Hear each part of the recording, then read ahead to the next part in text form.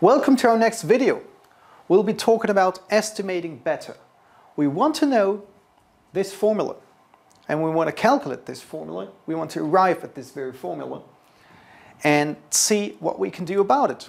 So there's the beta.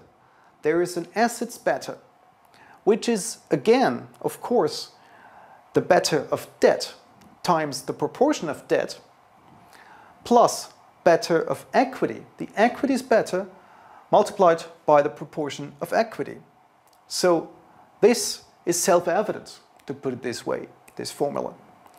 Again, the proportion of debt, of course, is the market value of debt. It's the market value. It's not the book value. So you need to be careful about this.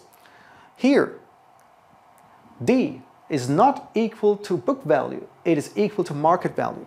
So the market value of debt divided by the market value of debt plus equity is this portion. So if we take a closer look at taxes, we need to know that this beta, that the assets beta, is of course this formula. How come?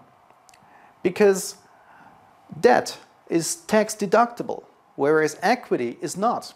So we need to multiply by 1 minus tax rate, minus marginal tax rate. But we only multiply debt.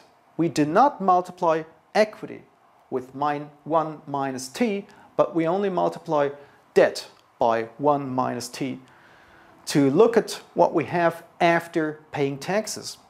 So it is this. But now, what's the meaning of beta? Beta is, beta stands for risks, but the beta of debt is risk-free.